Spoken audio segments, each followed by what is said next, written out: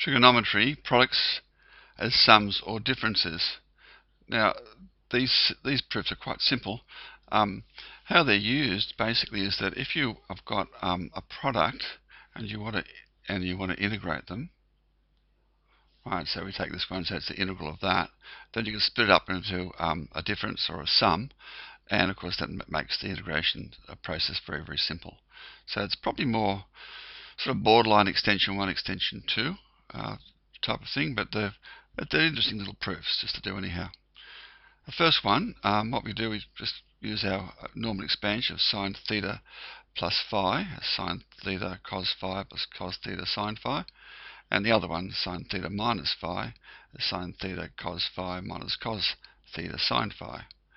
Okay, so now when we subtract these two from each other, right, what happens there is that you can quite easily see that um, on subtracting them, then the so these sine theta cos phi's go out, they'll go out. Okay, and this will change to a plus, and you get the result 2 cos theta sine phi. The other one, similar sort of thing. We um, write sine theta plus phi and sine theta minus phi out. Okay, uh, but this time we add them together. Okay, and when you add them together, you get that the the cos's go out and you get 2 sine theta cos phi.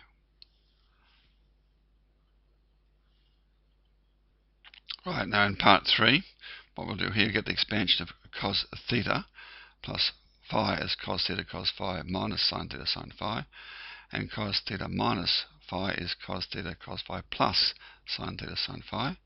Now, in this case here, when you subtract them,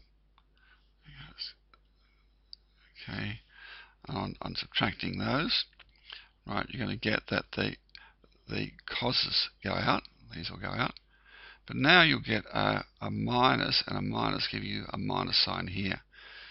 So you can just adjust that a little bit by simply multiplying throughout by negative 1 and making that a positive. And of course, then that now we just swap them over. There's the, that'll be a, a minus on this one and a plus on that one. All right. So just watch that one. The other one is uh, very straightforward. Again, cos theta plus phi equals this one, and cos theta minus phi equals the same one. Oh, sorry, the, the, the opposite sign one. Now, this time when you add them, the signs conveniently go out. They go out, and you get 2 cos theta cos phi. Now, as I said, fairly limited use, but certainly extremely useful when you, if you want to integrate these products, just changing them into, into sums and differences. Okay, thank you for watching.